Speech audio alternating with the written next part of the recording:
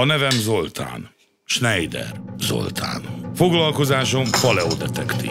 Most éppen egy kényes ügyön dolgozom. Azt próbálom kideríteni, hogy milyen lehetett az igazi paleovacsora.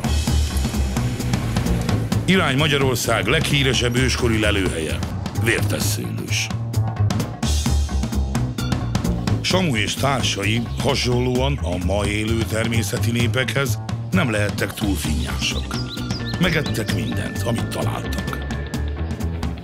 Megették a szöcskét, kukacot, vajorokat, kígyót, békát, gombákat, madártojást és a lépesmézet is.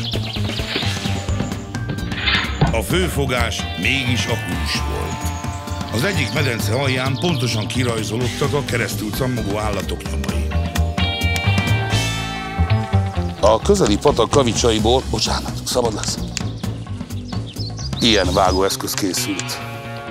Kicsi, silány minőségű, de amilyen. Nem kellett időre munkába menniük, vagy a parkolóórába pénzt dobálni négy óránként. Egész nap darabolhattak kedvükre, és ha elejtettek valamit, akkor lakomáztak.